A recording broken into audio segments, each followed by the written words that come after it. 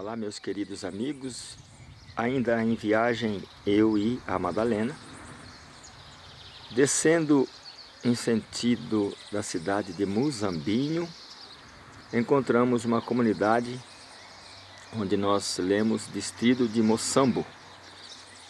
E aqui nós entramos para conhecermos o lugar.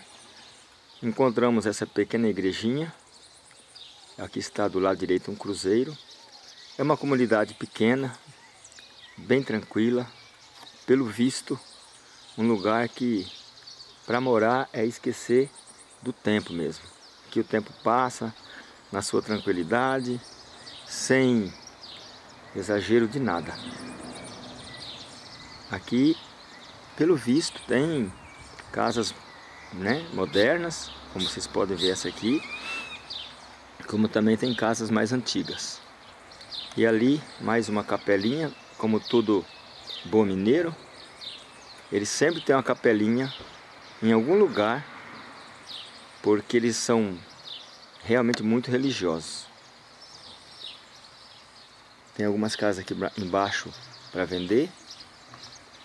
A entradinha que eu entrei, não sei se é a principal, mas foi aquela que eu vi ali.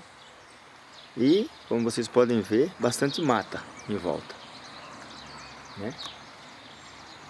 E lá está o asfalto, onde vai para a cidade de Areado, Alterosa e Monte Belo. Onde está passando, passou aquele carro lá, é o asfalto que conduz o lugar que nós estávamos, né? Conceição da Aparecida também. Eu estou passando aqui numa localidade que já há tempos que eu e minha esposa Madalena gostaríamos de parar. Mas hoje, graças a Deus, a gente teve um tempo para fazer isso. E através de informações, eu acabei entrando na localidade de Moçambo. Já tive já uma palhinha do meu companheiro que vai falar um pouco aqui, que aqui passava a Mogiana. Eu com a minha esposa fomos até ali e já percebemos que pelo desenho da arquitetura passava a Mogiana. Estou aqui agora na residência com muita honra, viu? do casal que nos, nos, recebe aqui agora. É o senhor Nicolau. Pode falar o seu nome completo, senhor Nicolau? Joaquim Nicolau de Almeida. Joaquim Nicolau de Almeida. Ali está, pelo que eu entendi, sua companheira? Isso, Ivani. Qual o nome da senhora? Ivani. Ivani. É nossa segunda amiga chamada Ivani, né, bem? Só temos a nossa vizinha. E aqui está o seu Nicolau que vai conversar conosco um, pouco a respeito desse lugar sua idade, o senhor pode falar para nós? 60 anos. 60 anos, tá novo ainda. Sabe por que eu tô falando tá novo? É. Eu tô, vou fazer 62. Então, então tá, o senhor é um menino perto de mim ainda. Tá novo também ainda. Seu Nicolau, fala pra gente como é que começou essa bênção desse lugar calmo e tranquilo que a gente sempre desejou passar, nós nunca conseguimos parar, hoje foi possível. Fala pra gente um pouco. Ué, então, como eu falei, esse aqui é da... começou com a Mujana, né? Aí a gente está aqui porque meu avô veio de Portugal e instalou aqui, né? Então o senhor é da família de portugueses? Português. Certo. Aí ficamos aqui, né? Aí a Mujana acabou em 66, né? Mas ficou aí, acabou bem com o bairro nosso, que era muito movimentado aqui, né? Sim. E com a parada da Mujana acabou muito movimento, né?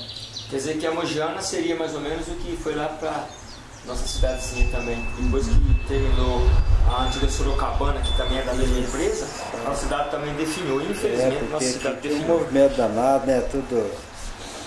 E com isso acabou tudo. Né? O pessoal, então, pelo que o senhor está falando, aqui no entorno da, de Moçambo, é. aqui no entorno, o pessoal vinha fazer compra aqui. aqui. Aqui na época tinha que loja? Tinha, tinha, loja, tinha farmácia, tinha empolga, né? Que falava empolga. Empolga, né? era onde vendia secos e molhados, né? E né? E tinha aqui campinho de futebol, né? As coisas que tinha aqui manteve até hoje, né? Só que acabou foi o movimento, né? Só ficou gente mais nova, né? E o povo mais novo não sabe nada disso, né? É. A, aqui o que que gira no comércio? Aqui, né? No comércio não, eu digo na, na, na região, assim, ah, sobre agricultura. É, que que... é café, né? É café ainda, Café. né? Pelo que eu observei, essa região toda, acho que ali a partir de Iguaxupé pra É, cá, tudo é café. vai café até pro lado de Passos, né? Isso. Que a gente percebeu que tem café. Até Varginha, tudo é café. Tem o né? café. E o senhor faz o quê com a sua família vai sobrevivendo depois que o pessoal. Eu trabalho na roça aqui, né? Quer dizer, hoje eu trabalho na prefeitura, né? Hum. Mas e, eu trabalho com pedreiro, eu com meu filho, né? Ah, tá.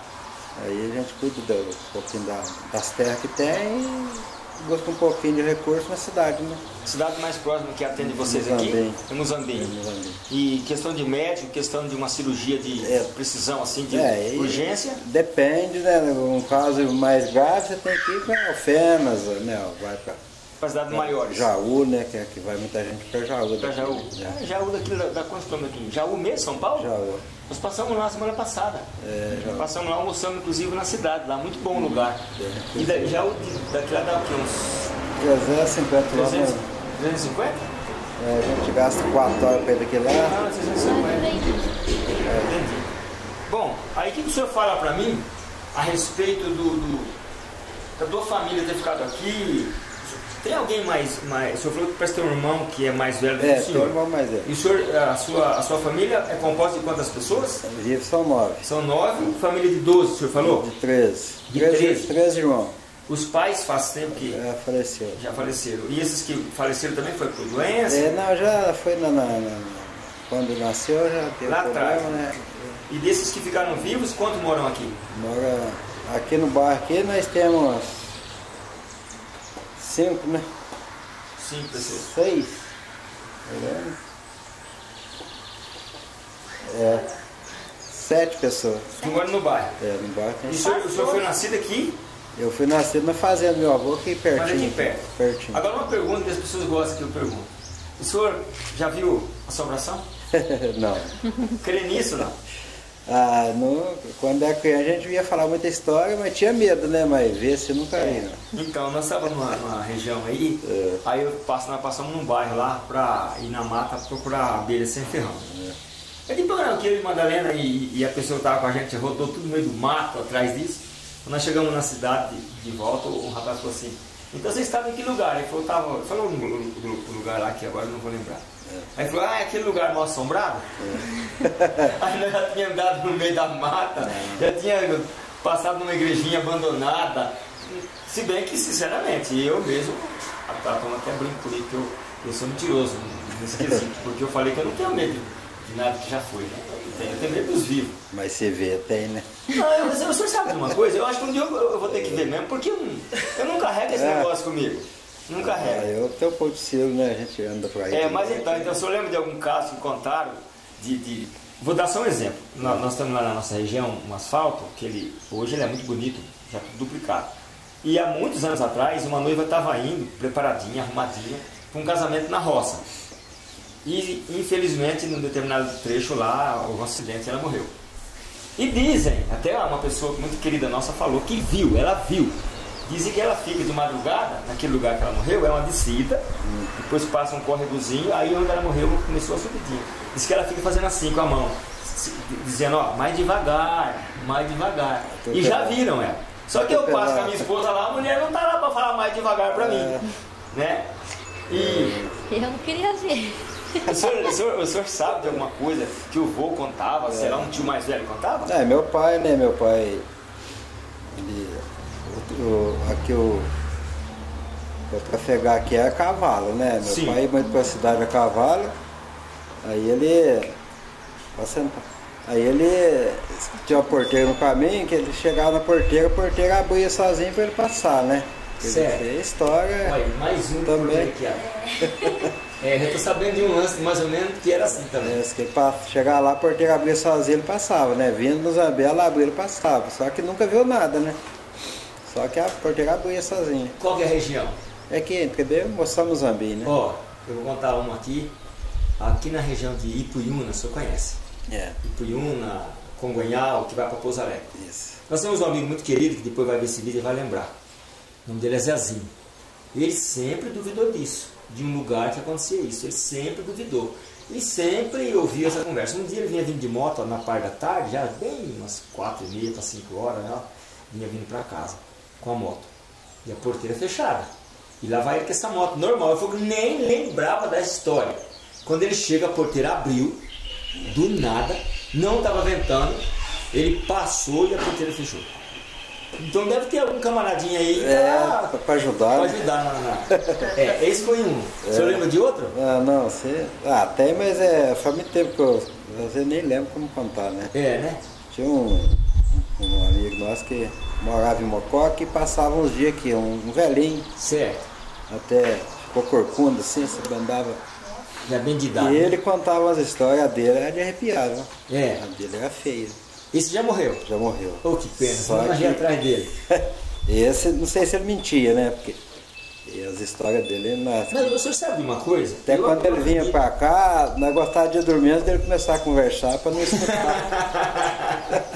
Depois a, a casa era muito velha e deitar assim, ficava. Mas rapaz do céu, acho que se fosse com medo da danado, né? desse senhorzinho, acho que eu tenho o maior prazer do mundo de colar nos pés dele ali, ó, e ficar ali, ó. É. Eu me lembro, vou contar, a entrevista com o senhor, mas eu- já que o papo tá bom, eu, nós fomos uma vez numa região, e dessa região é, tinha um- uma serra muito alta, mas era um chapadão assim, sabe?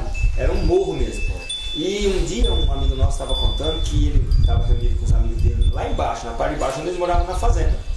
E de repente uma luz muito forte, lá no morro ela apareceu lá em cima. Mas era um lugar impossível porque era mata, era mata fechada lá. Mas aquela luz ficou muito tempo lá, bastante tempo, umas duas, três horas lá. E todo mundo embaixo vendo, comentando a respeito. Foi que ele selou o cavalo, deu a volta na serra para ter o gosto de ir lá e ver o que estava acontecendo.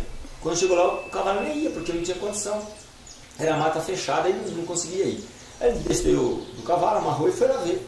Eu senhor, até hoje eu não consigo entender como aquela luz estava lá e não tinha só eu de testemunho. Então essas coisas a gente gosta de ouvir, a gente gosta de. de- de- Eu gosto de acalentar essas coisas, eu não, não tenho esse problema. E se não for perguntar demais, o senhor é pai de quantos filhos? É três filhos. Três filhos? Eu tenho ter com a gente. Tenho Já é neto. avô de quantos netos? É só um neto. Um neto, perdeu pra nós, né? Nós somos avô de cinco. É, tá. É, avô de cinco. O senhor gostaria de deixar aqui algum recado pra gente, alguma coisa assim que a gente pudesse é, depois relembrar? Vai passar para alguém que o senhor queira aproveitar e dar um recado? Ué, se... O recado que eu deixo é que a gente tá de porta aberta aí, algum dia passar por aqui. Eu né? agradeço. A gente pode receber novamente, né? Parece que são gente de bem, igual a gente, né? A gente procura ser sim, viu? Até, o, até o fim de cabelo. É. É porque hoje é pra. É tão difícil confiar no povo hoje, né? Porque Sim, chega a é, pessoa é. batendo na porta, É. só chega É difícil, muito difícil. gente com má intenção, né? É, é verdade mesmo. Eu vi que vocês é um casal de. um casal de fé, né? A gente, sim, isso é verdade mesmo. É. O recado que nós deixamos é que nós estamos sempre aqui. Agora, a sua querida companheira, ali no cantinho, a senhora teria alguma coisa para falar para nós também? Quando eu falo para nós, não é bem para mim não, mas é para as pessoas que nos assistem. Uai, é uma coisa boa que vocês estão fazendo, né? Vocês procuram conhecer o lugar que vocês passam, né? Que às vezes vocês passam num lugar assim e falam assim, uh, aqui é bonito. Mas não chega, não sabe É. a história do bairro, né? Da cidade. É uma coisa boa. né? E a senhora sabe de uma coisa? É, tem pessoas que a gente entrevista na beira das estradas, tem aquela vendinha do Terra, do Neca, do Neca. E a gente passa, entrevista, aí coloca no canal. A pessoa está viajando e vê. Ui, eu vi esse lugar. Aí para, vai lá, conversa, fala que viu. Isso é muito bom, porque as pessoas depois entram em contato com a gente. Eu deixo meu WhatsApp lá e agradece. Então, não custa nada você fazer esses pequenos registros, porque nós vamos embora. Um dia nós vamos sumir daqui. Isso vai ficar lá. Ficar guardado lá. É só ir no banco de dados que vai estar lá. Então a gente tem prazer de fazer isso. Foi quando eu passava com a minha esposa por aqui, sempre eu queria parar aqui. Não dava tempo, sempre aquela correria. Aí eu falei, não, a gente tem uma hora de pisar no freio, dar uma descansada e esquecer o tempo. O tempo, ele tá aí, vai continuar, não vai mudar. Aí eu vinha descendo lá, aí eu falei, puxa vida, eu tô chegando perto de Moçambo. Eu vou dar uma, uma descida. Outra coisa, eu perguntar aqui pro seu companheiro aqui, o. Deixa eu só achar aqui, já achei. O senhor estava falando sobre a, a Mogiana, né? E esse nome Moçambo? Será de onde é que veio? Eu não sei de onde veio isso, porque tem uma história que aqui era, trocou o nome com Juruáia. Juraia. Juruá e Moçambo. Juraia, Juraia seria aqui no caso? É, não sei se Juruá aqui, lá seria Barra Mansa. Onde é Juraia? Juraia é Juraia? é chamada capital da lingerie. Lingerie. Então lá seria Barra Mansa. Isso. Diz que foi trocado o nome aqui com o Juruá. Agora não, e essa é a história que eu vejo, né? não sei a verdade. Né? Mas por que será o fundamento de Moçambo, né? Não, não Moçambo. De Moçambique não é porque não tem negros aqui, que eu não achei negros por aqui. É, A mas gente achava que aqui era uma. Um quilombola, É. pelo jeito de que é quilombola? Quilombola, antigamente, Ah, quando dos quilombos. isso, havia uh, os escravos, eles fugiam, né? Formavam aqueles casais, eles fugiam, entravam mata dentro e sumia. E ali onde eles resolviam parar, formavam um quilombo. Formavam um quilombola, uma vila, que É, a gente que vê- é, que é o que eu estou procurando agora com a Madalena. A tá- gente viu um assim lá no Piuí. Pio, onde fabrica queijo, indo lá para. Furnas? E tremer Piuí e pimenta, né, velho? Nós passamos. Ah, então lá tem um quilombola aí, como é que é bom entrevistar? É, lá Já tá um lugar chama. Até o nome é quilombo. Quilombo mesmo. É quilombo. Uma, uma coisa também boa que eu consigo com a Madalena, nós estávamos viajando aqui do lado de Santa Rita de Caldas. Caldas, Santana de Caldas, aquele, aquele trecho lá. Tem uma aldeia de índio.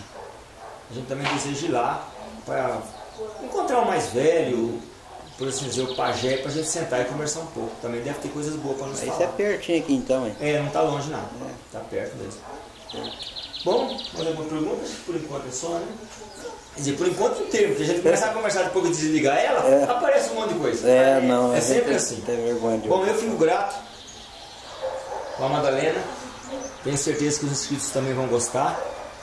E nós só queremos te agradecer, agradecer pela companheira por ter nos recebido. E vou ver se eu consigo colocar isso no canal rápido, para o senhor poder assistir. É só depois anotar direitinho, é canal do Cícero Ferreira, não tem o que errar. E fico grato, é, mais uma vez eu falo, por esse carinho do senhor ter parado um tempo. Eu já estava trabalhando, para um tempo para me atender com a minha esposa. E se um dia o senhor, porventura, estiver indo lá para o lado de Limeira, é só ligar para a gente, o senhor tem lugarzinho para ficar. É, Tá bom? certinho. Eu agradeço esse carinho, viu? Agradecemos também a visita aí. Bom pessoal, então aqui está. Foram 15 minutos e alguns segundos de, de conversa. Logicamente vai ter muita coisa que a gente pode depois mais para frente extrair dele, mas por enquanto é só. E eu agradeço de coração a atenção de vocês. Voltem sempre no canal, se inscreva, compartilhe e um abraço a todos.